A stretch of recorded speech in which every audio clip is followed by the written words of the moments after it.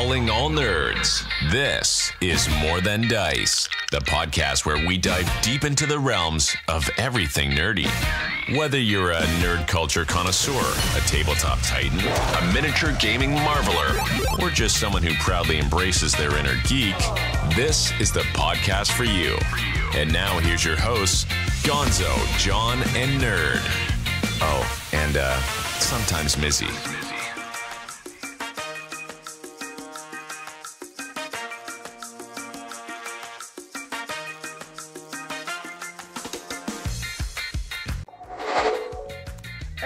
Welcome to another episode of More Than Dice. I'm Gonzo. I'm John. I'm nerd. And welcome to episode 290. Holy fuck, we've been podcasting a long time. It's almost 300. Uh, today we're going to be talking about uh, theming your army or your models or units, depending on how you want to go with it. Uh, we're going to hit all those aspects. But before we do, we have to talk about all the business, as it so says. Uh, we want to thank Midnight Heroes for sponsoring us and providing some really cool models for us to see. Uh, I think Nerd is probably going to be painting up a pirate that was a special edition Midnight model, uh, Midnight Heroes model that was also a Warfare Weekend model. Um, and she'll be painting up that. Yeah, there we go. Oh, you broke the head. It came like that. I thought it was on purpose. No. But you also have the small mini version too, so Yes. That one came just fine. yeah. Uh, we also have, want to thank Turbo Dork. Make sure you check them out in their new paint line. How they got coming with the new bottles and uh, the silicone mixing sticks. I didn't know that they had those, but they are bringing those out.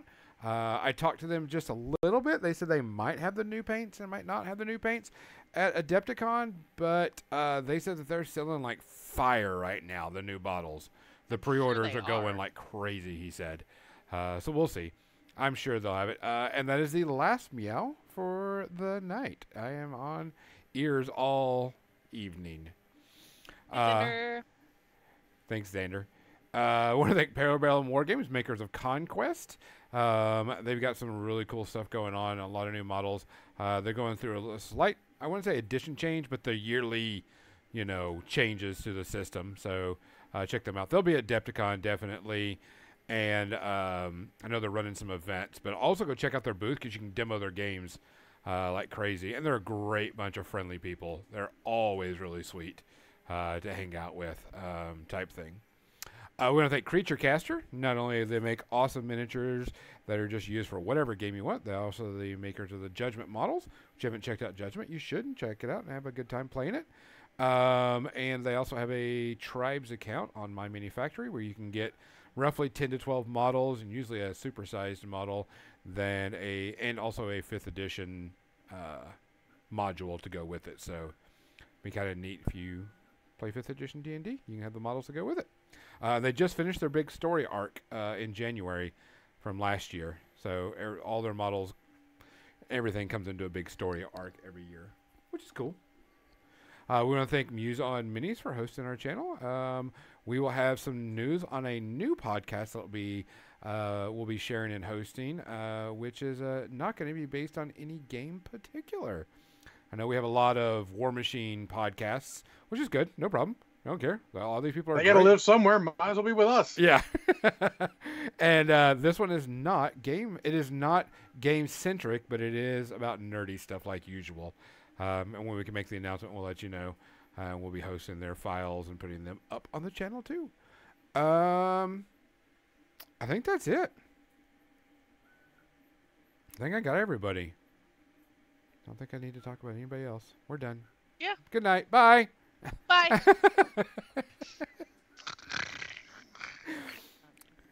But um, guys, we are doing a little bit of changes to the podcast, uh, and not really the podcast in particular, just the entire plethora of us. Uh, the podcast is still going to do the same thing. We're still do a pre-ramble, still do you know our subject, talk about things, and you know our media section. That's not changing. Still going to be Sundays, um, but uh, we are still debating about how to do a web page, uh, so we can get a little bit more information out to y'all. Um, working on that. Um, but also, myself and Nerd are going to do some more streaming. Um, mostly painting, streaming. Uh, John is still debating whether he wants to do some uh, gaming streaming, but you know that'll come in due time. He's got to figure out what he wants and have life work in his favor. Yep, I'll be on Monday nights at seven central. and I will be on Wednesday night, seven central, um, and we'll be painting up miniatures. And some miniatures will be cool stuff that's been gifted to us, and so you'll get to see some new stuff or some stuff coming out. Um, so it'll be different. You'll have to figure out what we're going to be painting when we do it. Um, other than that, that's like that's like the only changes. Like I says, no no bad changes, just cooler stuff. Well, Art Michael, if you decide to start streaming again, let us know. Uh, if not, you can come out hang with us and get you motivated to do whatever. I'm mostly doing it because I'm a lazy bastard and it's hard for me to paint. I mean, I've been painting up until recently when I cut my thumb. What'd you do? I mean, just grabbed the knife the wrong way.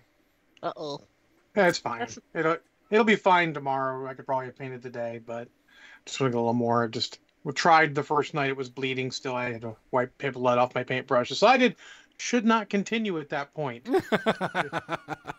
That sounds like a wise decision. yeah, so instead I did a couple nights of action figures because I got plenty of action figures to open. no, no. You don't realize how much you use just that spot of your thumb until you cut it, and you're like, "Holy crap! Everything I do it makes that annoying." Yep. Mm-hmm. But like I said, we have some changes. Nothing bad, nothing harsh, nothing, you know, just providing a little bit more media for you to consume type thing. Plus, we Yeah. like to paint. I may do some video gaming streaming too because I'm playing Final Fantasy 14, so I may, you know, do some of that and whatever, but we'll wait and see. Uh, John, do we have any shout outs this week?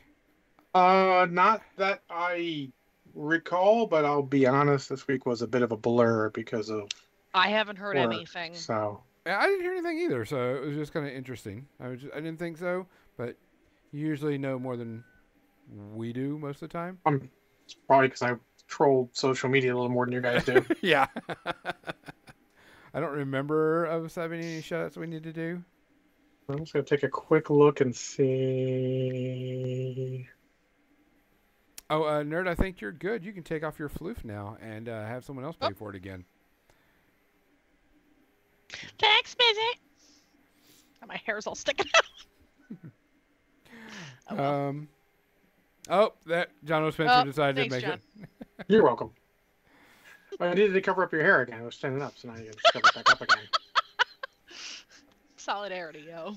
That's my uh, story I'm sticking with. I mean, mine's gonna get weird because I'm growing my hair out because I've got a friend's wedding in April, and I'm gonna dye my hair for it because she's that kind, and I think I'd be cool. Awesome. Ooh, what color? Blue, probably blue. It should give everyone at work a fucking fit too. So uh, it's a bonus. Just fuck them right now. Not even respectfully fuck them, just fuck them in general.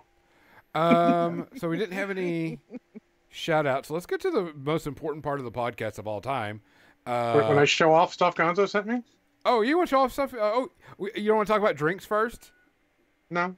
Okay, you want to show off? Okay, what, what are you going to show off first? Okay. Well, this is this is the, the extra one. He got me a nice lightsaber handle here. It was very cool. Dark, the dark saber. much- Dark saber. Yeah, I like the like the style of it.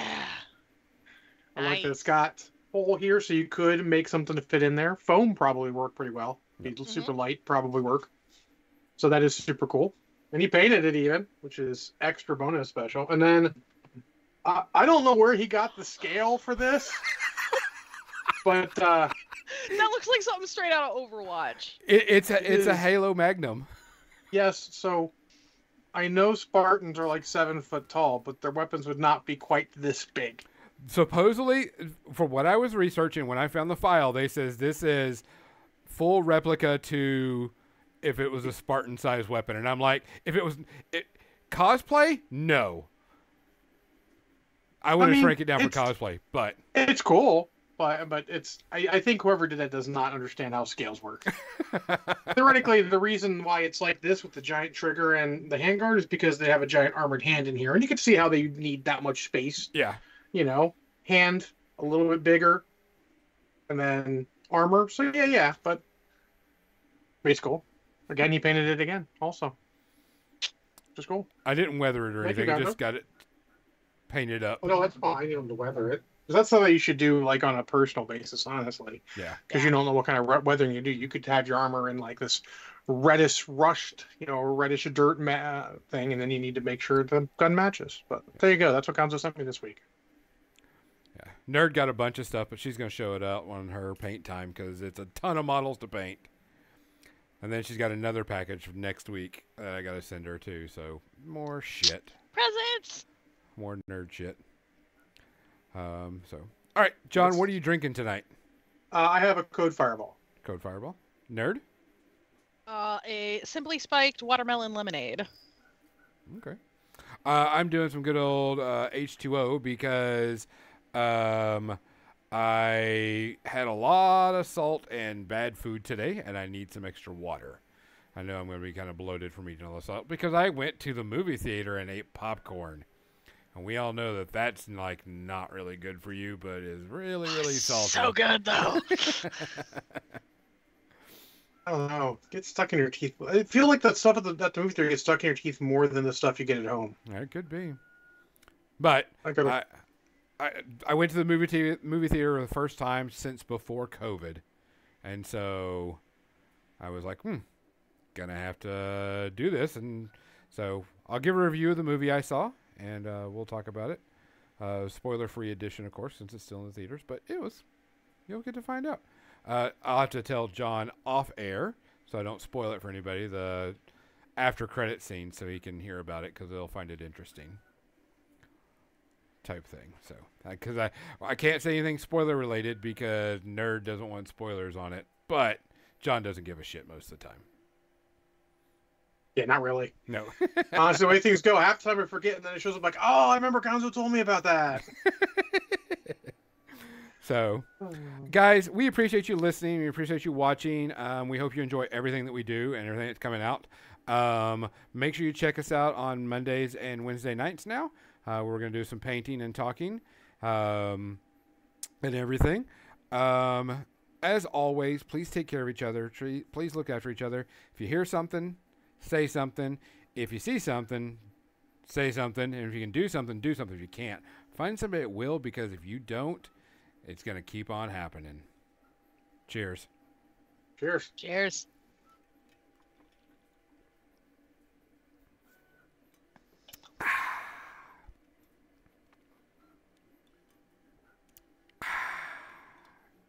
Man, it's just so amazing. And I apologize to everyone who only listens to us in the audio form. 'cause that's got to be fucking obnoxious. Jesus Christ. Now, now I just feel like Fizzgig from, from Darker. Which I had that RPG too, by the way, which is actually a really good RPG. It has a really cool RPG system. I would have to rewatch it because I actively avoided it as a child because Skeksis scared the shit out of me. Oh, they should. All right, let's switch kind over of to like the paint fire, kind of like the fireys in uh, Labyrinth. Yeah, but they like took their heads off and shit. Yeah, that's why I didn't like it. Canyon. they were quite amazing. You, you could just put kick their heads, and suddenly you're like, job's a good one. Yeah, I mean now I'm In fact, I'm pretty sure that's what she did, basically. No, I saw all sorts of Dark Crystal when I Oh, was growing up. Mizzy, Mizzy says that w- that we will fight you if you spoil this for us, Gonzo. Oh, I know. That's the reason why I, I'm not going to.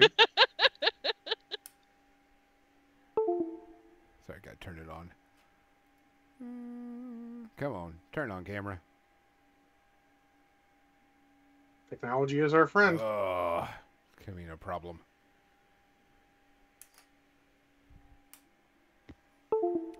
So while I'm trying to get the camera fixed, um, our discussion tonight is about uh, theming models, and it's not really just strictly about units and so on and so forth. It's about, you know, I got a model, I want to paint it up. How do I go ahead and try and paint up if it, if it's like something that's not part of a unit or part of an army, but it's a solo. Um, and we look at the things coming out about it. How do we paint it up?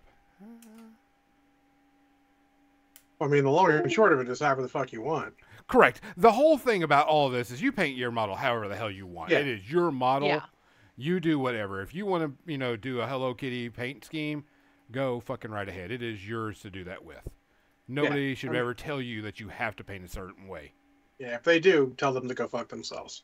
Correct. Yeah, For me. I I have a model that I painted in a pastel goth theme. Who Awesome. does that? Me, apparently. There's a there's a large um, community in BattleTech that's all you know, super uh, friendly, and they're doing they do they'll do stuff in all sorts of various you know pride flag, trans flag, whatever, just because they want to honor that stuff. It was very cool. Yeah. and it pisses off a large selection of people a lot, and Especially uh, on Reddit. people get upset. I don't even understand. Like, hey, cool. Just just go like, oh, I don't like that paint scheme and wander off. You know, it's okay. You don't have to like the paint scheme. There's a there's a guy who does did like Marines like in every possible ally flag they could find. That's fantastic. It's great, and people get up and I don't understand. Don't don't let people browbeat you or you know anything into trying to paint something differently than you want to. You paint your models how you want. If they don't like it, they can just wander the fuck off. They don't actually have to look at it. No. Yeah. Like I said, when, when it comes Like- down to it, it is your shit. You paint it however the hell you want it.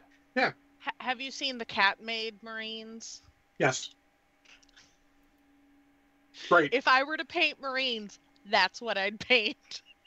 I saw other ones like I just put dog heads on Marines. I'm like the most loyal chapter, the goodest boys. I would consider that. That's great. Sometimes it's like that. Sometimes you want something whimsical and silly. You're like, I just want to paint this in a whimsical and silly manner. Do it. Oh yeah. Um, you know, sometimes you just want to paint it in off colors. Like I see a bunch of stuff where people are just painting stuff and all sorts of. Maybe they've borrowed a paint scheme from lore. Maybe they borrowed a paint scheme from someone else's lore. Both are perfectly viable. Yeah. And honestly, if you're people do armies in Harry Potter houses. Perfect. And I would say if you're having trouble with a scheme, you should start, and I've said this a couple times, looking at other things you like and see if you can steal a scheme from that. Yeah, Oh yeah. We we all steal paint schemes from everybody else. Don't let anybody tell you any different. Oh yeah. Like p- yeah, painting scheme there's only so many colors of paint schemes. Like you can do a unique one, but I everybody steals from everybody else. Nobody owns a paint scheme. Yeah, no, definitely not. Like just just whatever you want. If you want to paint it like uh, I've seen a bunch of BattleTech mechs painted like Transformers, Cool. e- each one differently. I'm like, that's cool, you know. And they they they got ones that were that the scheme they could put on it would fit with whatever you know transformer they're trying to paint. Even if it may not be the most appropriate, just because I'm like "Oh, that that's really cool. I like that. You know, that's a cool way to paint things. You know, um, I think my favorite crazy paint scheme I've ever seen was somebody did an uh an orc bus like the Venga bus from the Vengaboys. Which was this 90s one-hit wonder. and it's super colorful and covered in flowers and yeah. Okay. Uh, I, I obviously I had no idea who these were. I shock you to know that Eurobeat's not exactly John's thing. But luckily, a quick Google search, and I'm like, okay, yeah, I, I understand what you're talking about. Yeah, that was one of the earliest paint like crazy paint schemes I saw, especially on Twitch. Yeah. Um, like another one, I even reached out to uh the model painter that painted it, uh, but I saw one that was done in what they called a coloring book style, where they edge highlighted everything in black. oh, the uh, comic book style. They called it coloring book, but yeah, it would be like a comic book style. No, that's, Um, that's cool. and I had the exact same model in the same size, and I'm like, I want to do this. Are you okay with with that? And she's like, Oh yeah, no, that's fine. Yeah, I mean, just just go with what works. I mean, so most of I'm painting right now is BattleTech and Marvel Crisis Protocol, And BattleTech, I mean, any of those games like that, just you need to figure out your own scheme. Steal if you need to. Schemes are hard to come up with, especially if Mhm. you've got stuff where it's like the colors aren't always going to be in the same spots. When like BattleTech, you have a bunch of different mechs. It's a little easier with like a 40k where you've got like Space Marines or Space Marines or Space Marines. They have the same basic component parts. Yeah. Um, but when you get into the harder stuff, uh, a game like uh, Warmachine of Hordes, uh, where Gonzo's painting, where sure the models in the unit might all be the same unit, but they might look drastically different. Oh yeah, You know, especially anything where there's sort of a hodgepodgey, rebel-y look, you, you yeah. Or anything if you- yeah, or if you're painting D and D characters, like if Mhm. you're doing your own mo- your own model for for for your character, like think about whether you're painting it for somebody else. If you're curious, don't also don't be afraid to like ask people for ideas yeah, because they may come up with a paint scheme color that you wouldn't even consider. yeah, and it may, may work, it may not. It may challenge you Yeah. to expand your painting skills, and that's important as well sometimes. Yeah, like I I paint a lot of green skin, which is I'm sure no surprise to anyone. Um I know, John, I know. I- Goblin. Wow. So I ha- I mean, I, to be fair, I have to. goblins, zombies, uh tree ants that I, oh my god, hold on. This this is one that happened on stream. So I saw these these tree ants and I'm go, "Oh, they look like broccoli." so I made cheese to put on top out of UHU and paint. UHU glue stick and paint and then smeared it on there so it's a broccoli cheese ant now. Awesome. Okay. which is not something I would have considered. Or like I did, I just to break myself out of my green skin rut that I've gotten myself into, I pulled my uh, Twitch community during stream, and I did not leave green as an option. So I like picked everything else, and so like I'd never painted purple skin until this week. Yeah, and, and little that things like like your broccoli cheese trend. That's that's like something sees you and strikes you. Just go. Yeah, Just go. Spoiler. These are just models. You can either get another one, or in a lot of cases, you can just repaint it. Mhm. Especially keep your pa- paint extra thin. Or there's a lot of easy ways to strip a lot of the paint off and make it easy to go. I can help you with that. Gonzo can help you with that. I'm sure Nerd can help you with that. We, there's plenty of ideas out there. oh yeah. And um, but- I will also uh, pre-build uh, paint schemes. Sometimes I'll like if you can find a picture of your model, either print it out or go in Photoshop or Paint or whatever you've got, and you can like lay down colors to kind of see how it's going to look before you paint it. Yeah, you can see you can see the get an idea of basics. They do a lot of that with the there's a sheet in one of the How to Paint Space Marines books that just had blank Space Marines and shoulder pads and stuff, so you could like photocopy it and how is this going to look in a general sense. hmm You know what's interesting about that is, as a teenager, you know, I was learning to you know color and all this other stuff, and one of the things I used to do is, um, it was a it was a Marvel comic, and it was like a who's who in the Marvel universe, and it was just you know it was a picture of the superhero, supervillain, and then it was you know the bio, and I technically took the Iron Man page and photocopied it like 50 times and then took it home and just drew and colored different versions of Iron Man through the whole So- thing. Okay, that's fun. Yeah. So I did a similar thing, but the book I got, I'd run it, I'd got it from the library. It was called How to Draw Comics the Marvel Way. I remember that book. Yeah, they I had they, a How to had- Draw Spider-Man. they, they had a bunch of different like general people things. They had like standard guy, thing heavier thing or uh, Hulk slash um what's his name Kingpin heavier set guy, and then they had a Mhm. female model, and you could just I would just I had traced them, I had photocopied those pages at the library, and would just take them and I would make costumes and stuff using that. I think. I bought the book for my wife years ago, so I think she. I'm pretty sure she took that, but it's a good book. It's got a lot of good stuff in there, but like stuff like that, you can you can test out paint schemes. Take models like we we all have extra models. If you don't have extra models, then I applaud your willpower. But you can take extra models you get and and use those for test paint schemes.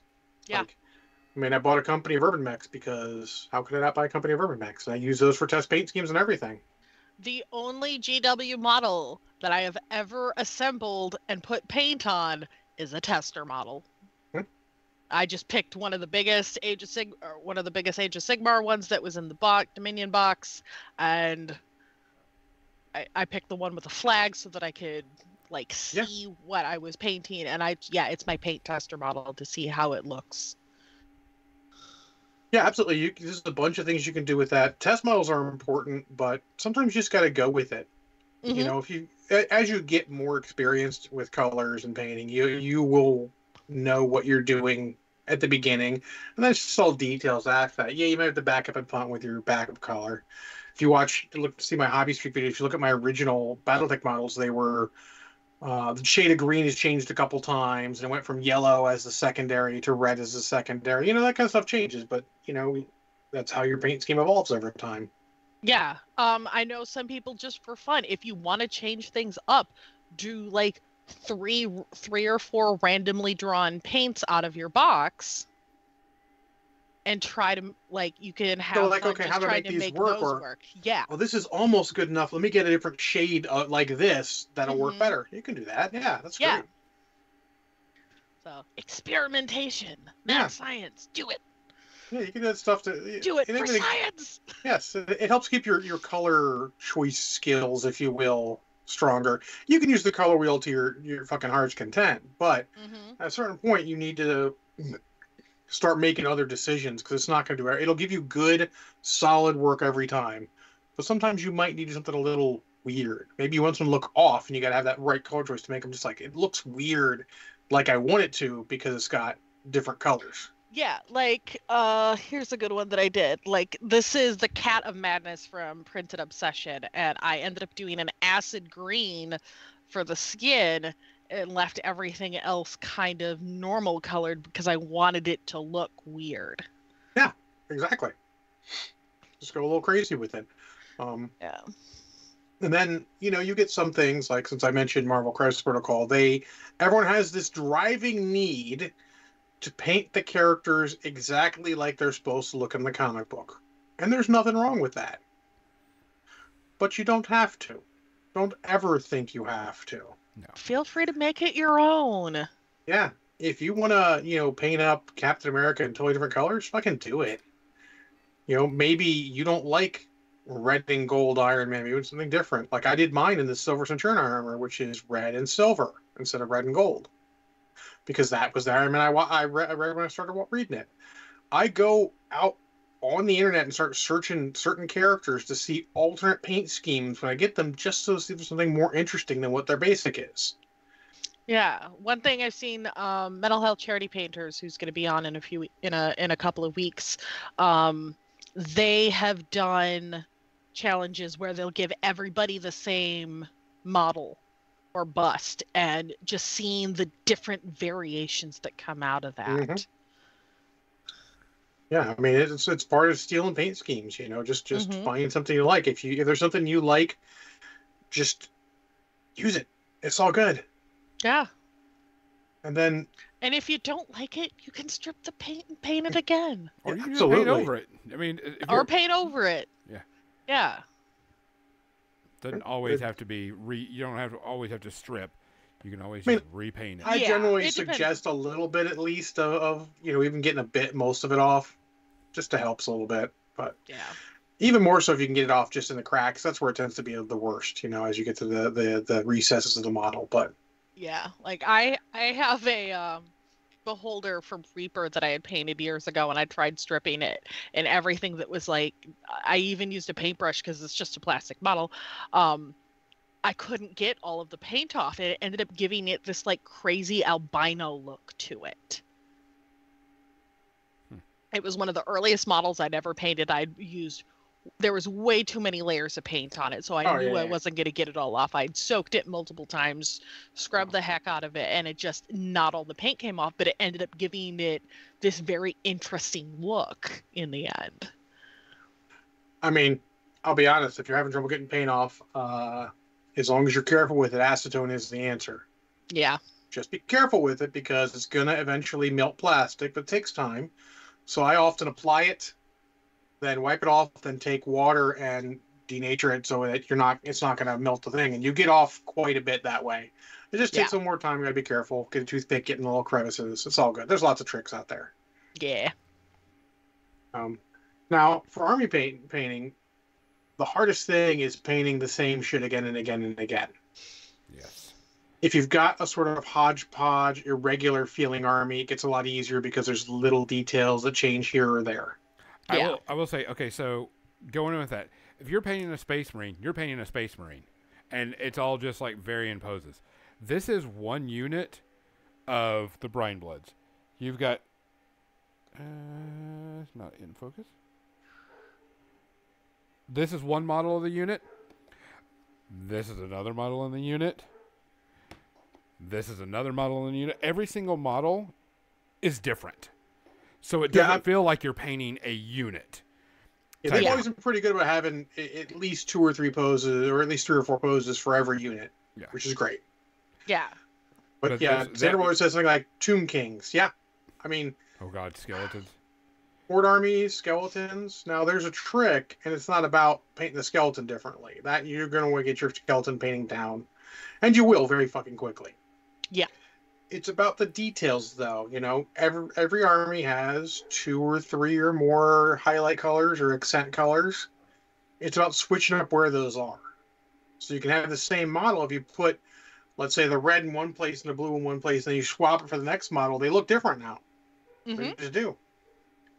Um, or each unit can have a different shade. I had uh, um, uh, Jeter at my store did his uh, Infinity up, and then each sector, sectoral, their their each sub faction, would be painting a slightly different shade of those two colors of the green and purple, and he would change it up for each one, so they they look distinct, but they look okay together because they're all the same basic color if he was playing the general army. You can do a lot of a lot of stuff like that. Um, but a lot of it is just making sure you're, if you're not going to do a lot of extra stuff, it's fine. It's making sure you choose a paint scheme you want to paint. Yeah. Because I've definitely had ones where I've started painting it and I'm like, I hate this. Yeah, there's paint schemes that work great for a single model here or there, but you're doing a fucking whole bunch of models, you're like, nope, nope, I gotta. Yeah, my BattleTech models, I was doing a a a greenish gray, more gray than green, and then washing it to get it to be green. And I'm like, this is too much trouble for touch ups and all. If I'm painting a whole army, I need to use green as the base just so I can go back over it easier. Oh yeah, yes, Xander, exactly. Pirates from uh from Pirates Press, three colors, but each squad has one color as the main color. Absolutely. Just little things like that will go a long way. Yep. Uh, with Space Marines, it's getting used to painting or having something as you know squad color or something like that.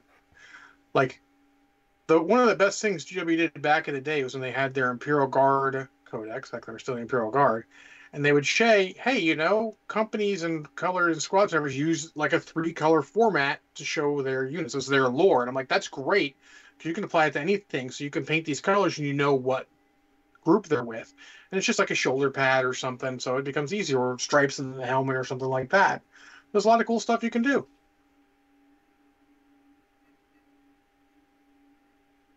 But with any bigger army, you really got to make sure you're painting what you like. Yeah. I mean, it sounds like a well duh, but it is. The more difficult you make something, the harder it's going to be to paint a whole army of it. And if you're painting 10, no big deal. If you're painting 50, is a bigger deal. Oh yeah. You know about painting uh, orcs, so uh, I've painted more than my fair share of orcs. And also, that's the thing where maybe you tag team with somebody. You know, my uh, my ex-wife liked to paint but didn't play the games, so I would get orcs to a certain point, and she'd like, "Oh, I like that one." She'd grab it and she'd put details on it and put it aside, and it'd be done. Cool.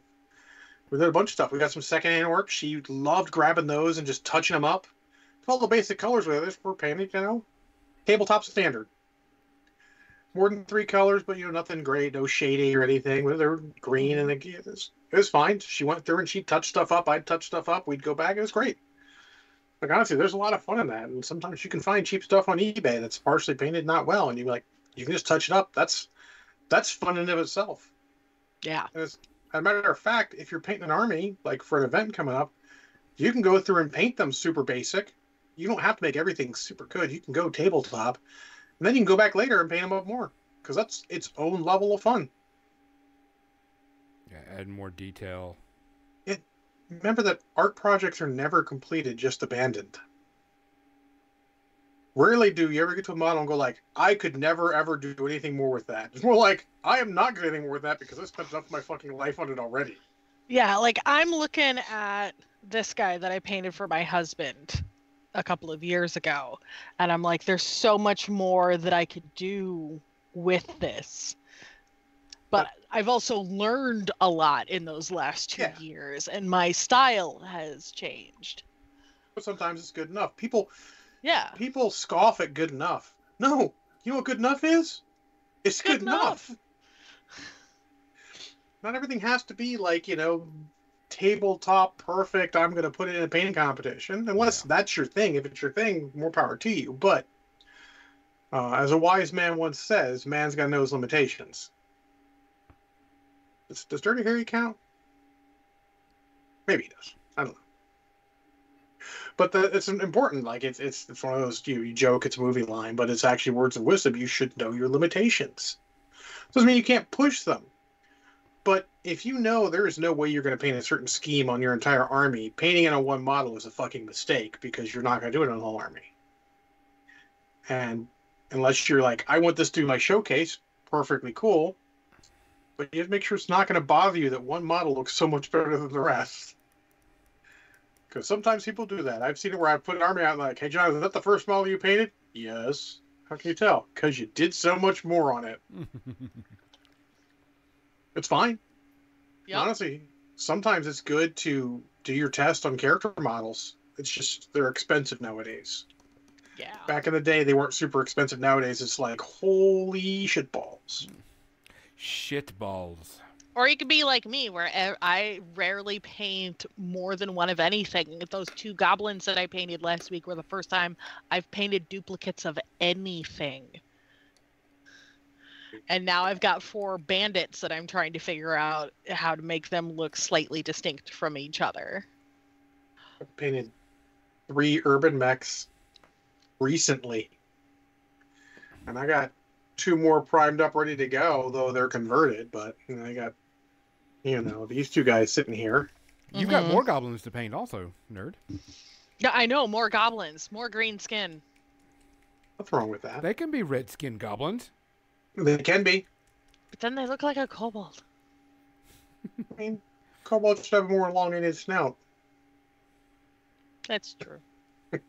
Well, it, it's funny because we did this. I don't know if it was on this or Without John. We did something where we did alternate paint schemes because my uh, my friend Dave uh, Value, who's a local, and he painted up his orcs in not green because he's like everyone does green. I'm not doing green, and they look cool. He's got this red scheme for their skin. Looks very cool. Oh, it's like my troll bloods. My troll, they're they're typically a blue green color, and I'm like, nah, I want red trolls. Uh, mine had been orange, and the uh, little armor spotty things were blue. Hi, Perfect. Cookie. Hey, Hey, Cookie. Cookie. How's your ma? I mean, Sorry, running joke about Cookie's mom. I, I figured. uh, so Manion, you're sort of getting to the point of what you don't do. There is no right and wrong color scheme for any skin. So whatever fucking color Yeah. you want to paint it, it's your model. I If your painted human an beings are pink skinned, it's fine. Make them pink skinned. Works for me. I have an axolotl that I painted in like a fiery scheme and gave him Romita eyes. Like Good eyes, it's okay. great.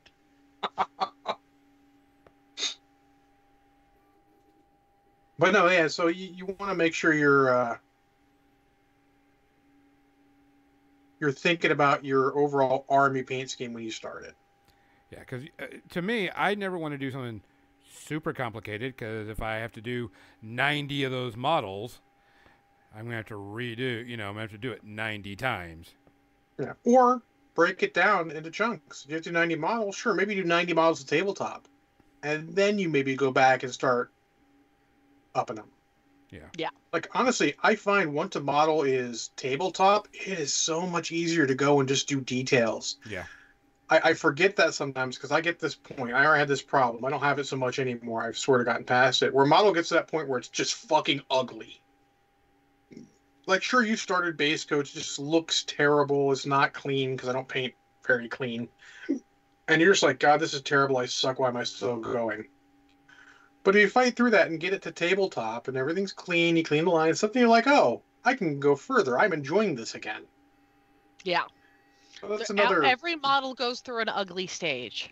Yeah, that's another self knowledge thing. You have to know that you hate that and that you have to power through it. hmm And maybe you got to put it down for things because other things in your life are challenging and you can't. You do not have the spoons for it. That's okay. You can come back to it. That's the Yeah. the dirty secret of models. You can always come back and paint them more. If you want to, uh, another fun thing to experiment on, like say you don't have a bunch of extra models sitting around. Do you have a bunch of extra bases? I mean, yeah. Yeah. Like, just, it doesn't have to necessarily be a shape. A flat surface can also be something to test different patterns. to see how the paints look. Okay, prime it, whatever Yeah. color you're gonna prime it. be like, oh, okay, cool. I see how that looks now because you don't know till you look. Yeah. That's the coolest thing about trying all the cuttlefish colors and two thin coats is more so with colorfish cut cuttlefish colors. Mhm. Like, how does this particular one look? You know, because they're they're they're the uh, the sketch and uh, Sketch what's it and called? glaze. sketch and glaze. That's not not my style. So interesting to see how they can work for other things. Mhm. You know, and you don't know till you test them. And you can't just sit there and go like, "Oh, I'll just stick." You can sit with your old old comfortable. Don't ever feel bad sticking with your comfort. If that's as good as you want to get, and that is what keeps you going and makes you joy, it's perfectly fine. There's nothing wrong with it. Oh, You yeah. don't Pop- actually Oops, sorry, go ahead. Oh, I was reading Xander's like popsicle sticks can add depth to a model. Like if you're if you want to add texture to a base uh-huh. or something like that. Popsicle sticks, stir sticks. Yeah, make fun bases. Absolutely. Don't Yeah. don't neglect any part of it. But um, don't ever feel like you have to challenge yourself though. You don't have to. Have Like- fun. Yeah. If it's if it's bringing you joy to keep do keep on keeping on. Some of us don't like change. And honestly, at the end of the day, you challenging yourself is change. And if it's not good for you, don't do it.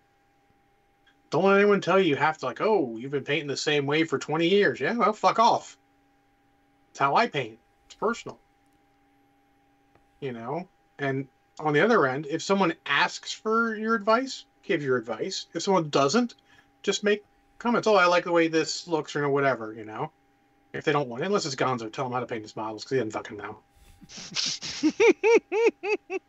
But but you know, in general, you know, don't like. I see people paint on Facebook. I'm like, that is a basic paint job. This person's just starting out. Cool. I'm not gonna jump on like, hey, you tried getting your paints down? He doesn't ask for my fucking advice. He doesn't know who the fuck. He doesn't care who the fuck I am. You know, he's painting the models. If they ask for advice, be Different free to give it. yeah. Yeah. Or you can say something like, "Oh, you know, I like where you're going with this. You know, if you thin your paints down a little bit, you'll get a little clearer coat and things. You could. That's the way to phrase your advice. It's all about phrasing. Yeah. One thing customer service has taught me is to say anything about phrasing. I can tell people to go fuck themselves in the nicest possible way, as long as you phrase it well. Because there's a way of telling people things in a way that's respectful and a way that's disrespectful. And to get a tiny, tiny off topic, media and social media in particular has shown us a lot of the wrong way and try to frame it like it's okay. It's not. Yep. It's not. You know, Wheaton's law. Don't be a dick. Don't Unless that be a person's an asshole, in which case you can. It's okay. Yeah, Don't be a dick unless Because- you have to be a dick. No, no, no, because it's it's like it's like tolerance. They are um, social constructs. If you've chosen not to partake of this particular social contract, then you are no longer bound by it, and we don't have to be nice to you. It's the Yeah. you've chosen to not be nice to everyone as a default. Now we don't have to be nice to you. You can fuck right off. Fuck But anyways, back there. Um, you know, yeah, unsolicited advice not great, but be try to give advice when you can. Yeah. You know, and I've seen people walk by a table at a game store and be like, turn their noses up. Don't ever fucking do that. You don't know this person's life. Yeah. I know people who can barely see, shakiest hands, and they're fucking making an effort, which in some days is more than I fucking do. Don't try to live it. Just be like, oh, cool. You know, they're paying, like, they- they're making a fucking effort. Shouldn't that be good enough? This is a hobby. This isn't work. Like, yes, if someone at your work is just making a fucking effort, well, maybe you need to help them do better. But it's a hobby. It's not work. We're not getting paid. We're supposed to enjoy this. If they enjoy the way their models come out, it's not on any of us to force them. Much like if they enjoy painting with playing with just unpainted models, their their their imagination's good enough they don't have to paint it. That's fine. I mean, I know people who said I don't play people play people with unpainted models. Well, then you're the asshole. Not everybody has the time and the and the resources. and and some people just have a mental thing. Um, I ha- I know two people. You know, um, there's certain uh, armies my ex-wife wanted to paint, but she wouldn't because she'd look at the Games Workshop book and be like, "I can't paint like this. Why should I try?" Oh, Some people are like that. They like, I have to be able to do it well, or I'm not going to do it, and that's the mental thing. Yeah. But we have to accept that. If they choose to try and make themselves better, we can help them. But if they don't, don't fucking try and force it. And Yeah. then my buddy Norin, he's just like, I can't paint well. I don't want to take the time to do it, so I'm not going to paint. Okay, dude. Thumbs up. I'm not going to judge you for it. It's your fucking choice, your life.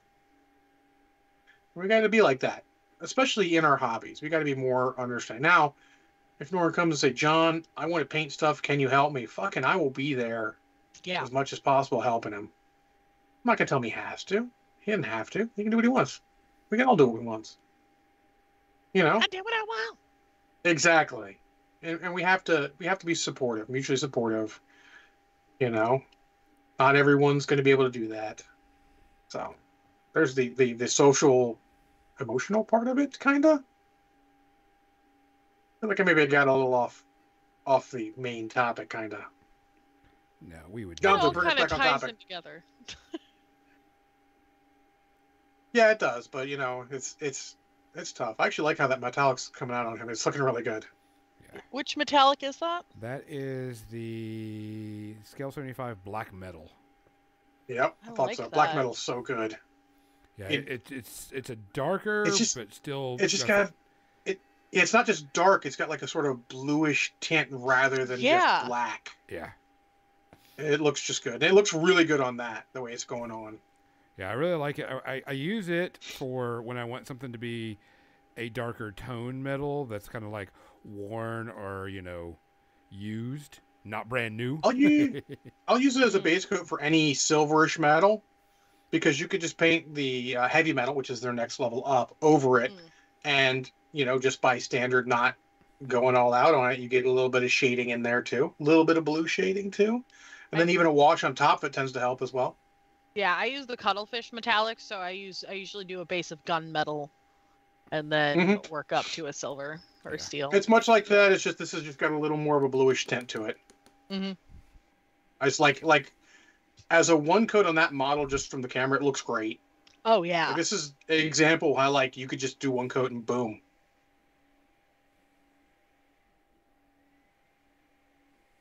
Yeah, so kind of fits perfectly. And she said it's like how I told my friend today. He's not a painter, but wants to get his 3D Catan board painted. Told him to come over. We're working it together. Absolutely. That sounds like so much fun. Mm, Dry brush the shit out of that stuff too. Well, one of the most fun we had is back in the Games Dirt Workshop days. Um, they put out their campaign stuff where it's little hexes, plastic hexes you put together. hmm And I mean, I, I'm not. I'll run the main thing of it, but I'm not going to paint all that. That's crazy talk. So what I did, I got everyone who's playing. I'm like, here's a couple for you. Here's a couple for you. And like everyone paint it, just paint. And they did. It was great. And, you know, like they don't all look the same. Yeah, it was fine though. Looked great. Yep. It was a fun change of pace. Everyone helped out. Don't don't overlook that either. If you guys are all playing a board game, so we talk about miniature games so much. Board games nowadays have a lot of models to them Yeah. if you guys are playing it a lot, see if maybe they'll paint it. You know, if you're painting, um, oh, what's it called? Shadows of Brimstone. Maybe you're Gloomhaven. com- yeah, maybe you're playing a certain character in there. Maybe like, can I paint this model? maybe they say yes. You know, offer help. Maybe like, hey, we want to paint the monsters. You take a couple of these. You take a couple of these. You take a couple of these. Cool. Go. Yeah. No, I don't want to discount the, the, the fun of that. And role playing, if you're playing a role playing game with a map in person, which seems to be the rarity nowadays. Maybe you want to play with models. We used to do it all the time. Yeah. You know, get your model, paint them up. I I wish I had taken pictures of them, but uh, my buddy, uh, the Jason, back who worked at Games Workshop, and they had bits, would make all of his models of the Games Workshop bits, and it was great. His first character was basically fucking Vegeta from Dragon Ball Z. and he literally took Games Workshop bits and made a guy that looked like Vegeta. That's fantastic. You know, it's great. That's that's the fun kind of stuff you can get together. It doesn't have to be First- perfect. Sometimes The first miniatures game that I would love to get my hands on now that they've re-released it is Hero Quest, Yeah, yeah, yeah, and those I mean, minis those- are a lot of fun. yeah. And and it's just sometimes fun. I've got uh, GI Joe Mission Critical. I had to look over to see the name is. I haven't actually Yeah. played it yet because we were supposed to play it for uh, New Year's, but no one showed up. Or sorry, one person didn't show up. Mm. Um, it's got lots of GI Joe models. Maybe I paint them. Maybe not. Yeah, I've got some alternate Crisis Protocol min- uh, minis that I don't know if they would be allowed. Like, I would love to like play with them at some point, but I don't know if people would allow them. So that's a good, a good little little thing. Is I mean, to an extent, in a friendly game, if someone won't allow a a a proxy that you can easily tell something else, that person is the problem. Yeah. Now, obviously, in a legitimate event, we had a whole thing in BattleTech where everyone's like, "I can't believe they're not letting us use 3D printed models in an official event." Just a response was, "Go fuck yourself." Yeah, that's a whole like, different story. You have to know why. If it's an official event, they want you buying their stuff because that's Yeah. how they stay in business. Yeah, no, a friendly game it makes sense, and Yeah. that those are, yeah, those those can be a lot of fun if finding some of those alternate sculpts or prints of stuff and or sometimes the model you just don't like. Yeah. Example, I'm not the biggest fan of the Iron Fist model for Marvel Crisis Protocol, and I, I fucking remember love you Iron talking Fist. about that. So I went out of my way. Not only do I have a 3D printed one from one of those companies that makes it that I need to get together eventually and, and paint, but I found the one from I forget what game it is, but the other Marvel game that's got the little Marvel chibi guys, United. Marvel United. Okay. I bought the Iron Fist from somebody who didn't want it. I came with the cards apparently too, in case I ever play that. On there, and I painted that up, and I have it magnetized so it can be on its base, where I can magnet it to its its Marvel Crisis Protocol base, and that's my fucking Iron Fist. There you Why? go. Because I like it better than the other one. That's fine. Do I yeah, expect to use it in an official event? Not necessarily. I don't really care. It's okay. Yeah, like I've got I think an alternate Gambit and a couple of others, but yeah. I gotta remember I have those, and maybe you and I could do a paint night where we paint Marvel. Maybe the next time we do pass the paint water. I'm I'm down. I'm Gonzo. Really? Really? but yeah, so there's a lot of that stuff, and it's a, it's a, a lot there, and a lot of it comes to on both sides us not being on one side dicks about it, and the other side's too precious about it. Yeah. Like if someone's like, "Oh, I have a problem with you using that Iron Fist model," yeah, they're the problem, but I'm not going to be a jackass about it. If I'm playing a game, like, okay, cool. I'll tell you what. I'm going to switch my list real quick. I'm going to take him out and put someone else in because I don't have the regular one. I didn't buy it. I got a Luke Cage secondhand, and I got extra cards from a guy who bought them.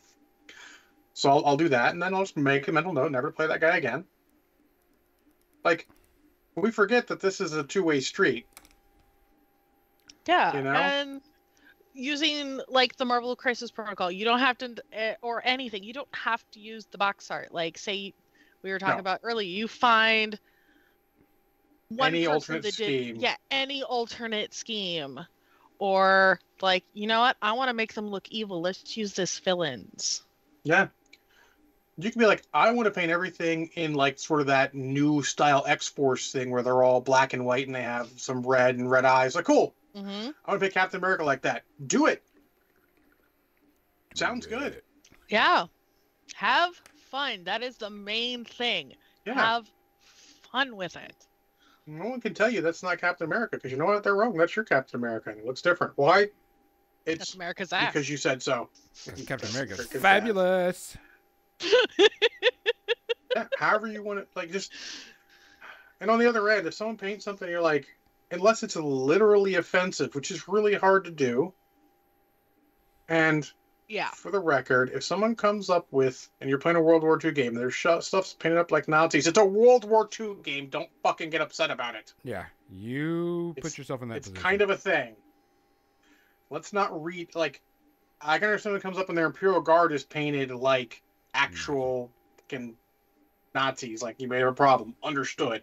Hundred percent with you. But if you're playing a World War II game, take it as they're just playing the game. You know, it's like people are like, I've, I have a friend who's like, I won't play Baron Zemo or Red Skull because they're Nazis. I'm like, okay, that's your choice. Yeah. I mean, you, you'll play the, the, the racial supremacist that's Magneto instead. That's cool. Yeah. But, you know, but that's their choice. They're not, he's, he never once says, I hate that you're playing that model, John, because he's a Nazi. No, he's like, I won't do it. I'm like, that's cool. You can have whatever standards you want as long as you don't try to hold someone else to your standards. He was also very amused because I was playing. I love Baron Zemo mechanically for the rules. It's great. Also, the dance in Winter Soldier great. But anyways, and he was super amused by the you know, I sort of get my a little too far in my enemy's face, and I'm like, this is gonna end poorly. So I did Operation Sacrifice Nazi, and I played Avengers Assemble, and all my Avengers moved away, leaving Zemo up there. He thought that was hilarious. Because sacrifice the Nazi. But yeah, so I mean, like, it's, it's there's a lot of things there, and a lot of it just start and end with "Don't be a dick" Yep. and paint however you want. Yeah, the only time that you Ooh, I should like ever be purple. concerned about oh yeah, this is my favorite purple. Uh, Yeah. About painting something is if you're doing it for competition, and it's like historical reenactment gets very very picky on that. But that's Oh, yeah. because you're doing it because there's a reason behind you want to be historically accurate in that color scheme. But if somebody's not going to play you because it's not historically accurate color scheme, fuck them. Now, uh, one slight exception to that. If you're playing historicals with a big historical crew, Yeah, it can be understandable if they want that level of accuracy. correct. But they should make that clear, and you should know that going in. That's my only Yeah, usually you know. caveat to that. Yeah, usually you know, but like back in the day, they were just they were like you know that whole joke like you can't play them; those buttons are the wrong color. Nah, dude, fuck right off. There's a point where you're taking that shit too far. Anyways, By the way, I'm trying out some new paintbrushes, except for the one I got in my hand right now. Uh, I bought some new paintbrushes, and these are uh, golden maples, and they're they got these little, you know, the thicker handle parts.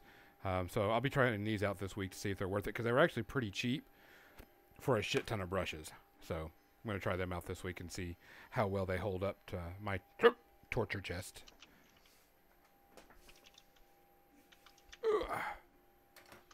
Let me swing this around because it's almost media section. Did I break everything? maybe it's your stuff though. It is. Yeah, but yeah, them historicals be nutty sometimes. Yeah, but I mean that's you, if you're going to a historical game, that's kind of what you're you're you're getting into that, and you yeah, should know but that. you know, as a historical player, I don't think anyone would listen to us, but if you are, make sure you're being clear. Yeah, You know, setting setting the the quote unquote rules you guys follow. It's like house rules. Like, hey, we have to have stuff painted exactly, but the button thing's an extreme example. Like that probably maybe happened once ever. But in the internet age now, you hear about it. Actually, you know what? I heard about it before the internet age, so it probably did really happen and just made its way around the social circles, like the gazebo story. But that's role playing. The Dread Gazebo. Look, man, don't fuck with gazebos. I put one in a campaign encounter just to fuck with my players, and they immediately started attacking it. I'm like, nothing happens. it's just a gazebo. They didn't believe me. it's more funny because it's fairly obvious that person has no idea what a gazebo is, and all the D and D demons, demons or devils, one of the two, are named in that sort of fashion. So he obviously thought it was a devil or something, hmm which just makes it extra hilarious. To be fair, though, until I heard that story, I had no idea what a gazebo was. I only did did 'cause really. we had like some picture of one from uh that my parents had up in our house, and so I always just or, or Doctor Demento gazebo bulbous buffet. Doctor Demento. Yep. Those were the days. And that brings us Tuning to our him in on my. AM AM radio. Man. Oh, Oh, that was the only reason my parents would let me stay up past 10 p.m. on a Sunday night. Was to listen to Dr. Demento. Um, it is media section time. John, how many you got tonight? uh, two because I watched something you today and yesterday. Okay. Nerd, how many you got? Dust also. Two. Uh, I've got one, two, three, four, five, six. Of course you do. I'm gonna give one, uh, and, and two of them are just got like I'm still watching. Um, one of them I watched, and uh, it was a documentary. So there's not like a rating to give this because it's a documentary type You can thing. rate documentaries. But You uh, can absolutely rate documentaries. yeah, but this one is uh, the greatest night in pop, uh, which is a documentary on We Are the World. Oh. And so it talks about how they set up We Are the World and shows like the all behind scenes footage and stuff like that. And it was just neat to see this and see some of these, uh, you know, artists come together and, you know, actually see them do this. Because, I mean, of course, I'm old enough to ring the bell. Uh, I'm old enough to remember when the song came out. Um, and it, you know, it actually did, you know, weird things to the world. I actually do want to comment on how you can rate because if they're saying this like this is the greatest night in pop, really they're just doing what the Brits did years before with Band Aid. Correct. With Do And they, they- know it's Christmas? and they brought that out too. They brought Cool, that. They brought cool. that up too. Then Um, that, that was in there also because it's also you had Farm Aid after that after a while. yeah, Farm Aid. Yeah, there was a, it was a big deal. Like there was a Yeah. lot of. I mean, musicians have always been good about coming together, but they're really coming together there in the '80s. Yeah, and stuff. But Yeah. it was really neat to see and look at all these you know artists that are like in their seventies now. You know, and of course Cyndi Lauper looks the same as she was seventy and when she was you know sixteen, type thing. I mean, she's no honestly, but she looks amazing for seventy years old. Um, but it was just an interesting little thing to hear, you know, people talk about it and show the behind scenes footage of them getting ready. And, you know, you can tell they were like, and so and so was quite drunk during the entire time we did this. And, you know, Waylon Jennings noping out when Stevie Wonder suggested that uh, they do a, a lyric in Swahili. And Waylon Jennings like, nope, I'm out. And he actually leaves. Hmm.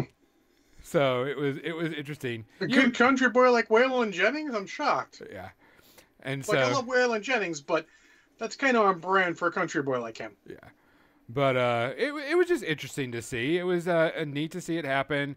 Uh, they talked about you know things that happened after it, like I said, you know they talked about Band Aid and they talked about Farm Aid and all that other stuff, and then Live Aid. Live like- Aid, yeah, Live Aid. I might have even gone so far as to say that the greatest most in pop was Queen at Wembley during Live Aid. Uh, I'll get to that when I. peak. Rev- I'll get to that during my review. oh shit! I know what movie you watched. Uh, so I mean, it, it it was pretty interesting just to see it and you know go, damn, I remember when this song came out and how big it yeah, was, it was a big deal. everybody sang it like crazy, and it you know was a big shock around type thing. But it was interesting. I'm not gonna rate it because it's just a documentary, and it's just nice to see some of that stuff. Although you know, looking back at Well, I mean, they, they they covered everything. So like, if they didn't, if they didn't cover Band Aid, yeah, uh, you know, before that, then maybe you go like, well, you know, they forgot some stuff. But nowadays, there's such higher quality yeah. But I mean, it was it was because there's no excuse. The internet. Yeah. You can you can research so much now. It's great. Yeah. So I, I had a I had a blast with it. I, I enjoyed the crap out of it. Uh, it was fun to see. Uh, John. Uh, so the first I watched uh, is True Lies. Or rewatched. Oh, man. Honest, I've seen this a couple times.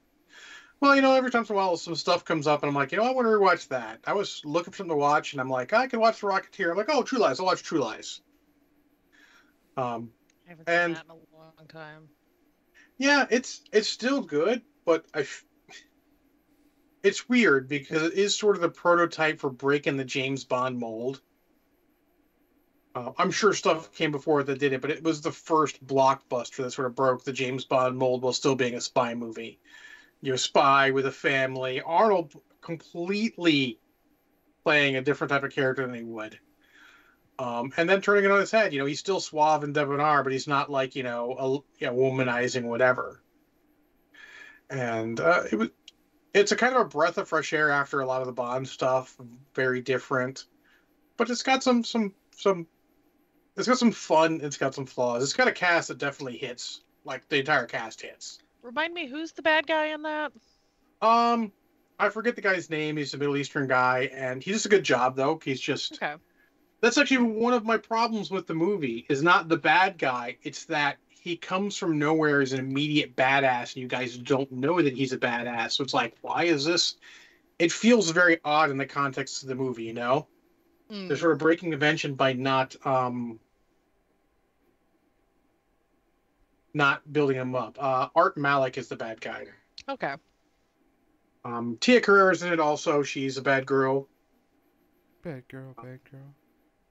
Tom arnold great in it Like it showed. That's when we like Tom Arnold can be the comic sidekick. I like him with this because it's not too much comedy. You feel like him and Arnold Schwarzenegger have been doing this shit for years. Uh, Jamie Lee Curtis, um, Bill Paxton's in it for a bit, like the Oh, that's a right. bit in the middle. And is Eliza- great because Eliza Dushku yeah. plays the daughter. daughter, yeah. Well, I like this movie because it starts off very fast, very much goes, and then you get this weird subplot in the middle, which is not what you expect this kind of movie. Normally, you feel like, oh, you know, family troubles, cheating on each other, but then you turn out like, no, it's not that. It's actually something else. With Bill Paxton, and, and Bill Paxton fucking nails it. He's great. Like few people could actually play that role. I feel like even though it's like a secondary role, he just does a great job, and he. It's a fun middle, and then it goes from there directly into the end, and the end's super fast paced. The best thing is it's so fast paced, you don't have time to realize just how fucking incredulous the shit is at some points. But it's got some fun moments. It's enjoyable. It's very much sort of iconic nowadays. There's a couple scenes that are great. It did make people love the Harrier jump jet, even though the Harrier jump jet doesn't do that. That's not how it works, but it worked for the movie. I'd say the only giant flaming flaw with this movie, aside from not setting up the bad guy properly, is the soundtrack's just okay. The score's not iconic or anything. You probably couldn't pick it out of a crowd. Yeah. It's like it's like workman style, but not like I was sitting there going like, yeah, this doesn't have like that theme, you know, which is weird for James Cameron because Terminator, you fucking know the Terminator theme. Oh hear it. Aliens has a great theme you can understand. I don't know if Avatar does, but to be fair, I've only seen it once. Yeah. Same. Um, but that's sort of my opinion. Like, and I'm a big soundtrack guy a lot of times, so I feel like that's the big, big downside is the soundtrack's not as iconic as it would need. But still, great. I give it one and a half. It's still a great time. I'd like to get it on a better. I think I have it on DVD. I'd like to get it on Blu-ray for a better picture, but it's super fun. It's a great change of pace if you want to do some spy stuff and not be as batshit crazy as something like Kingsman, Yeah. or as super serious something as Current Bond. What about Last Action Hero? Can we not talk about Action Hero? So we can if you want to, because I bought it recently because my one podcast listened to covered it, like did like a super long episode, and I'm like, you know what, I'm giving another try. Yeah, I shouldn't have. I will just always remember the scene where he goes, "Look, elephant," and then dumps the body off the side. Of the building. Yeah, it's a movie deserving of its own entry in here if I watch it again. Yes. Uh, but nerd, go ahead with your first one. Uh, I rewatched Bohemian Rhapsody, which is one that I watch probably two to three times a year. Okay. It's I'm a big Queen fan, and it's one that I will just put on for background. But like, I actually sat down and like watched it, watched it So, again for the I'm actually also a big Queen fan. I've actually seen them live, but I've never seen that movie. I know you're looking at me like that. It's not anywhere I've seen streaming for free, and it's not like I'm going out of my way for it. Well, I own it. We we Yeah. own a, a physical copy, so Yeah. um but yeah, no. Rami Rami Malik just absolutely kills it as Freddie. I've heard great things about it. Yeah, he even got like he had the the prosthetic teeth, um, and he got them bronzed or gold plated after after the After- the movie. That's but awesome. like, it's actually him singing in in in a lot of the scenes, and That isn't that the way now? Taron Egerton sang most of the stuff for Rocket Man, so I I appreciate all the actors' dedication to doing these things. Yeah, yeah, uh, which is one I'll probably watch next week. I might rewatch that. That's that's that was a good one. Yeah. Um I know there was a lot of debate when it first came out about how accurate it is because it's it's it seems to paint a couple of the members in a much nicer light than apparently they were um in terms of how well they got along. Which is rare for one of those. Normally they paint people in a worse light than it actually was. Yeah, but it's the ones that are still alive that were controlling that. So, i'm hey, you know, I'm never gonna fault a movie for trying to paint things in a slightly brighter light. Yeah. No, Okay, but it it starts and ends with Live Aid. And that whole they they end the movie with the Live Aid performance and it's just a knockout. Um yeah. It was a knockout, Yeah. which is great. It's just an absolute knockout. And I had gotten Live Aid, the actual like DVD for my dad years ago and sat down and watched it with him again uh, after I saw Bohemian Rhapsody the first time. And yeah, I. It's not a perfect movie, but it's really damn good. So I give it like half. That's, that's awesome. Yeah. Gonzo? Um, I watched something because it came out uh, recently on streaming. Uh, John recommended it, uh, and we actually talked about it a couple of times. Uh, and it was Mission Impossible: Dead Reckoning. Okay, Um, part one. Yeah, part Even one. though there's not gonna be a part two. Yeah, whatever. Fuck them. no, Um, no, I, I, no. That that's pure marketing. That is purely yeah. playing on people who are like, oh, part one, part two, blah blah. Go fuck yourself, people. Yeah. Um, I did not realize that this movie was almost three hours long. By the way, when we sat down to watch it last night. You're welcome. Hi, V. Av Mew's already been done for the whole time, so no worry about it. We're good on you. Um, I did not know it was almost three hours long. Um, it is definitely a Mission Impossible uh, movie. You, 100% you can say this is Mission Impossible. Um, uh, Mission Impossible Dead Wrecking V.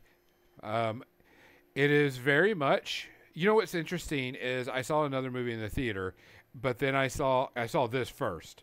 And the one thing I like about Tom Cruise and his movies is there's not a shit ton of green screen fake shit going on. If it is, it's hard to tell.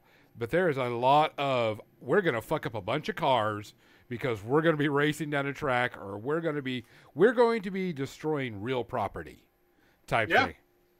We're gonna be doing things, you know, the old school way where we didn't have CGI or green screen and stuff like that. And I really appreciated that about this movie was there was a ton of action and a ton of fun. Uh, the car chase scene was great. Um, it was right spot on, just enough, and I wouldn't say comedy, but just enough um, Humor. humor because it wasn't it wasn't a joke and it wasn't funny. It was like shit. How are they gonna do this? And you're like, you know, you drive, motherfucker. Yeah, it, it's. I mean, they have a style. Yeah. And they're nailing it. And let, let's be honest, I'm I'm gonna say something slightly controversial. Mission Impossible is the best action movie series ever. It, it, this one was really good. It was, I, I- I did not expect it to be th- almost three hours long. Um, there was a couple of things they could have I cut keep out. saying that. Yeah, I was not expecting it. I was, I was like, oh fuck, it's late, guys. Um, I enjoyed it. I thought it was great fun. I think there were some scenes that just, you know, it was like the ending train scene with them, you know, doing things that it might. You could have cut that out and just cut it to something simpler and it would have been okay. Um, but I. But the motorcycle jump that he actually did. no, no, no. I'm talking about where the train is falling off. Oh yeah, I mean, and yeah, then but, trying to climb out of it. I was like, there was just way too much stuff going on in there, and I was just like, I was like, you could have cut out some of They the have stuff. to end on a big thing, though. Yeah. that's that's their brand.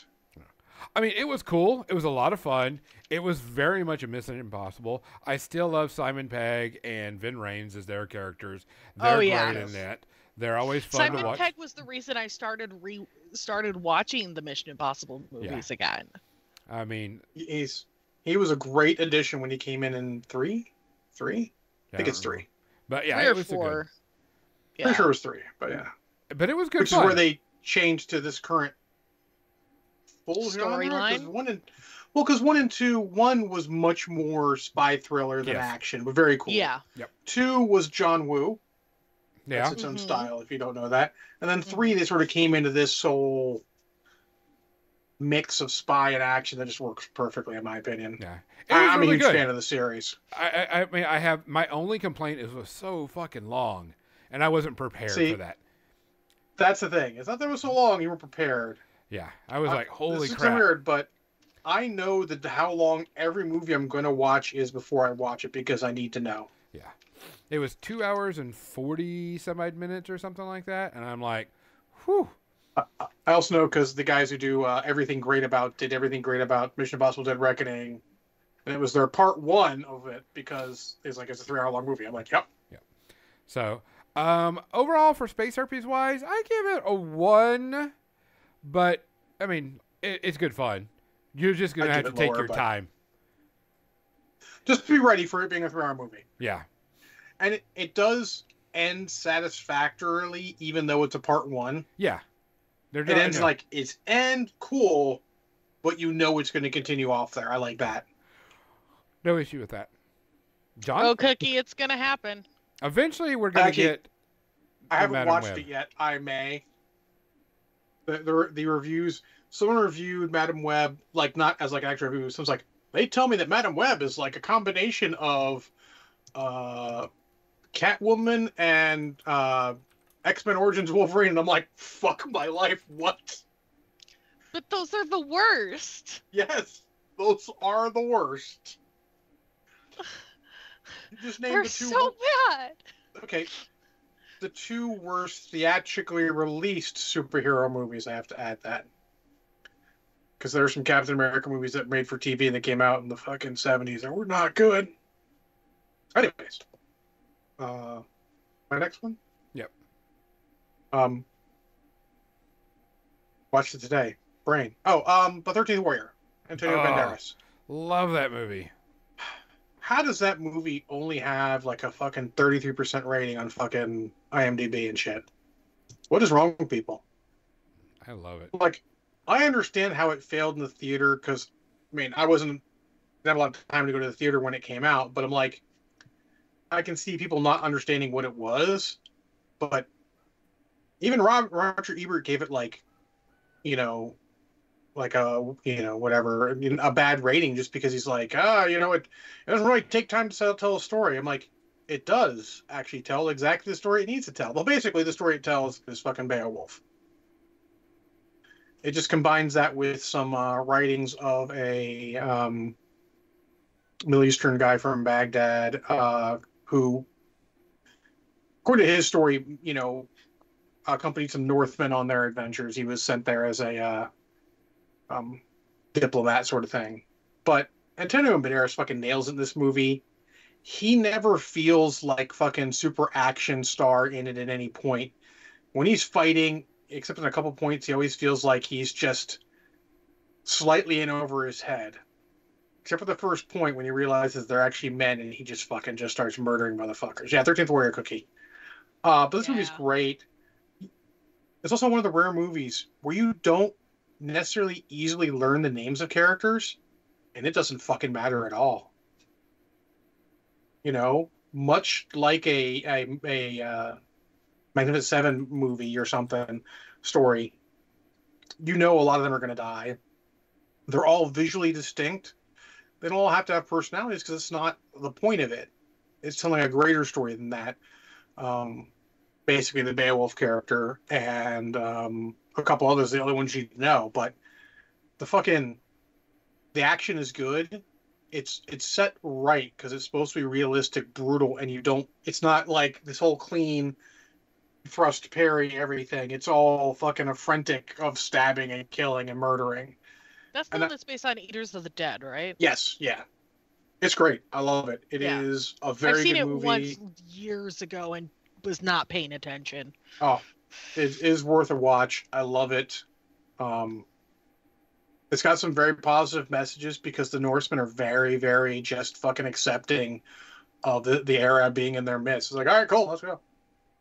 They tell some jokes at expense, but it's not like, you know, they're being mean. They're just being fucking like guys are. These are warriors who, you know, fight to the death all the time. They're going to be a little, little punchy like that. Uh, my friends are like that. They don't fight to death all the time either, that I know of. But it's just super fun. Antonio Banderas and all the cast does their their role well, and it just tells a good, interesting sort of retelling of uh of Beowulf. Uh, I'm, I'm gonna give it half. Like I don't really think it's got any flaws. It's solid. Uh, soundtrack's good. Jerry Goldsmith does a good job on it. I thought about that after watching uh, uh, True Lies earlier.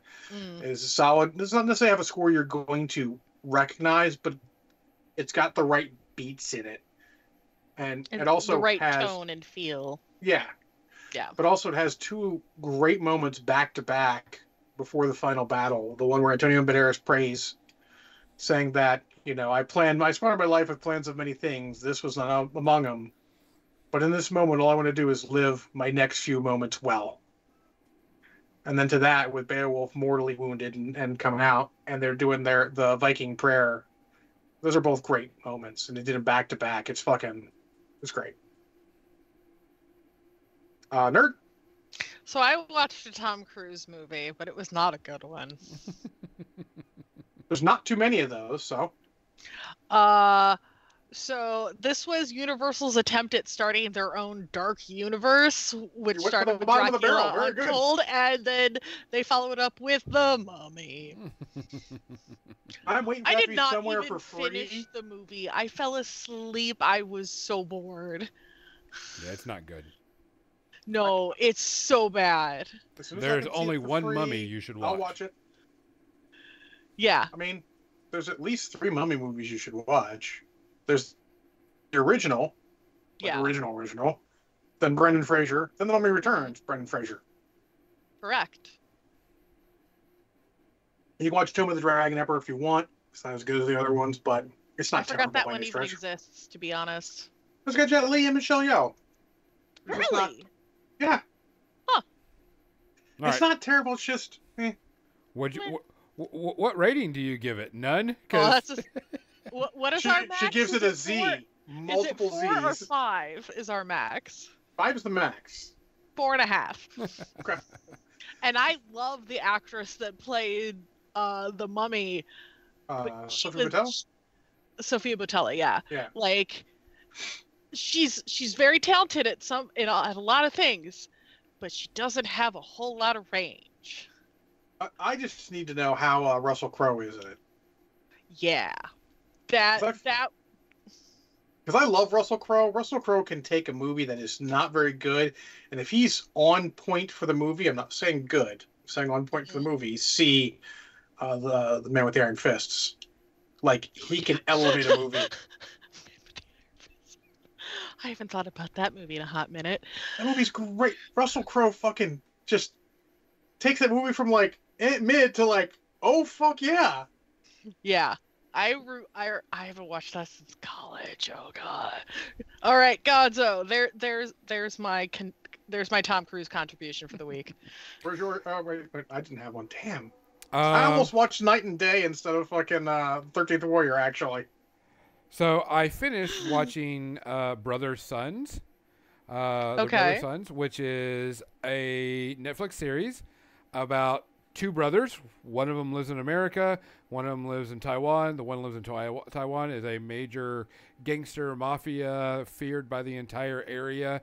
And the one living in America doesn't even know that he's related to a mafia family and is a little chubby and is completely Americanized. Uh, Michelle Yeoh's character takes him to America to escape the mafia family. This show is fucking great. Uh, I'm not going to say anything to This is on spoil. Netflix, It's on? Netflix. It's the Okay. brother sons, and son is S U N S.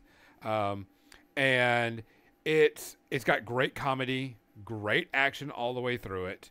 It is super good. Uh, I can't wait for season two.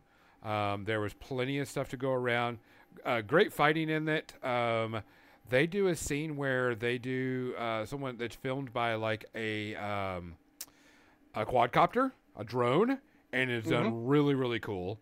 Um, there's it's switching up a lot more in movies. Drone work's getting a lot better in Oh, movies yeah. and TV shows. Um, but I mean, it was great. I watched. It's only it's eight episodes, and they're about forty-five to an hour long.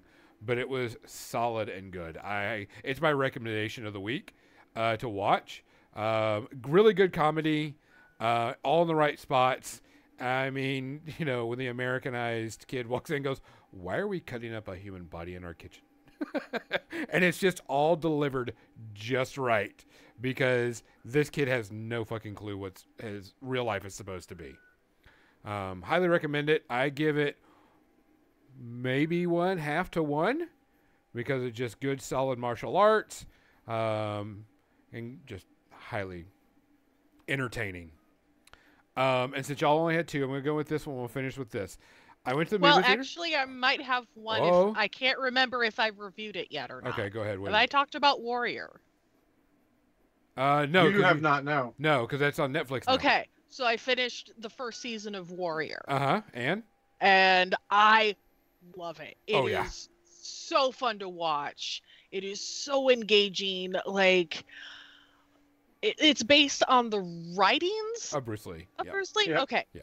Yes, and just oh, I haven't watched like a good, for me, a good uh uh martial arts series or movie in probably since the Ip Man trilogy. Oh yeah.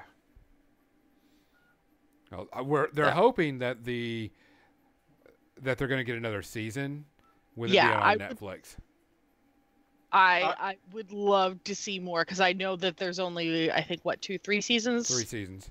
three seasons on on Max. So yeah, I want to see the main actor get more stuff. Oh yeah. Yes.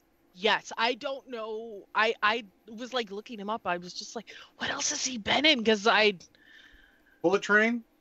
Yeah, Yeah, that's the the Snake Eyes other thing that- movie. Don't don't watch the Snake No, Eyes movie. He Bullet he should have been Snake Eyes. Instead, he played Storm Shadow. It was not as good. yeah yeah no. Bullet Train was fantastic too. But uh, I I give it I give it half.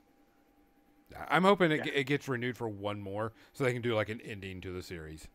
Yeah, Yeah. I, I need to catch up. I watched the first most of the first season on uh, Max when I had access to that, and I need to finish first season and go into the second season. That the the Western episode Oh was yeah. great. It was great. Oh yeah. Just like Oh, that's another one where the the also the score is really really good. yeah, yeah. It's just good. It's got some of the best martial arts action out there right now. Um, all right. Uh, so I'll finish up.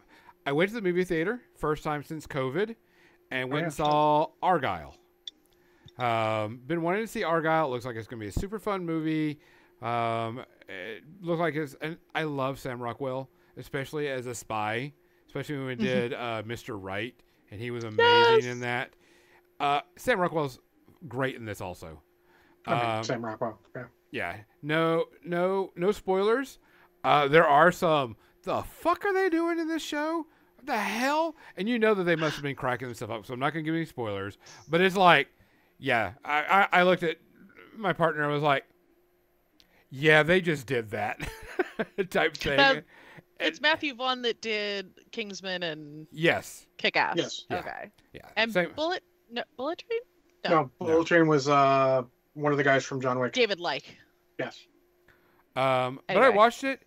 It wasn't bad, but it was interesting because the day before I watched Mission Impossible and all the scenes where they're crashing cars and do all that stuff and you know not CGI, completely all CGI in this, and I was like, man, can you tell? And you can tell bad. You know, that Yeah, all this so- stuff is CGI'd and Especially if you've just seen something that's like that, yeah, you you, you notice the lack of weight to Correct. the to the scene, if you will. Yeah, and it, Like and an it actual- wasn't that it was bad. It was just that man, I just got on watching Mission Impossible, and they had all these cool scenes that were real cars and real stuff going on, and then Oh, this yeah. happens. and you're just like, Practical effects versus special effects, there's a huge difference. Yeah. Yes. oh. Um, story was okay. I knew what it was when I was going in. Um, nothing really shocked me. It had some good funny lines, had some good action, had some really stupid off the wall action scenes, but we're still like, holy shit, did they yeah, that yeah, yeah, they did that. But Sam Rockwell is amazing. I want to see him uh more. Uh, I think I they're like him pretty much everything. yeah, True. I, I think they're going to do a, uh Argylle two, um, if they can afford it. Um, I don't know how well it's, how well it's doing in the box office, but um, there is an after credit scene um, that you have to stay for, and it's very shortly when the credits start, so you don't have to wait too long. Uh, but it actually is a it's, a, it's actually I was like, oh shit, really? And you need to. I'm not going to spoil it for people. You can either look it up or you can wait until it comes out and you can watch it. Seeing Um, it this week. yeah. So um, I really liked it. It was a lot of fun. I give it like a one and a half to two because some of this the silly shit was like way out there, but it was still like you That was my worry campy. that it was like going to be a, l- a little too much. You know, Kingsman was about here. It looked like it might go a little bit above. Oh yeah, Yeah. the cheese factor on this one is definitely It is definitely higher. higher than the Kingsman and Cheese Factor, um, but it was still entertaining. I still had a good time watching it. There was there's nothing wrong with it. Um, if they make it two, I'll probably go watch two. So not a big deal. Hey nerd, who do we need to go show and uh, give, give some love to tonight? Uh, that's a good question. Let me see. Uh, Ricky's not a ferret. Yeah, Ricky's doing a birthday stream. Uh, do we have Monster anniversary? Den minis? Yeah, he's pretty high though. We always try to hit somebody that's got lower viewer count. Okay, hold on. Du- du- du- du- du- on our list is Ricky's not a ferret. He's at 20, so we'll give him the love tonight. yeah. Give him the love tonight, guys. As always, we appreciate you coming on. We appreciate you listening. We appreciation. We appreciate. Uh, Xander, your quick question: Is it Kingsman Bloody? Uh, it's right around there, but not as. But it, it, it's near that. Um. But back to the thing. We appreciate everybody being on. We appreciate you listening. We appreciate you hanging out. Um, don't forget on Monday night, Nerd is going to be doing some streaming and painting. Uh, she's got a plethora of models to paint anyway. That's a uh, Ah, my favorite word. And I will be on It's the word. Wednesday night to do some painting. I've got a Highland coup. I might be on battle crew. Thursday. We will see. John might be on Thursday. We'll just have to wait and see. Um, as always, please look after each other. Please look after each other very well now. If you see something, say something. If you can do something, do something. If you hear something, definitely say something so we can actually get taken care of all this bullshit. Um, 'cause we love you and we want to see you again. Um, for More Than Dice, I'm Gonzo. I'm John. I'm nerd. Good night, people. Thanks for listening to More Than Dice, making the world a better, nerdier place, one dumb joke at a time. Be sure to subscribe wherever you heard this podcast so you never miss a future episode. For more nerdy action or to connect with your hosts, check them out on facebook.com slash more than dice and twitch.tv slash more underscore than underscore dice. Until next time, stay nerdy, stay proud, and we'll see you soon on the More Than Dice podcast.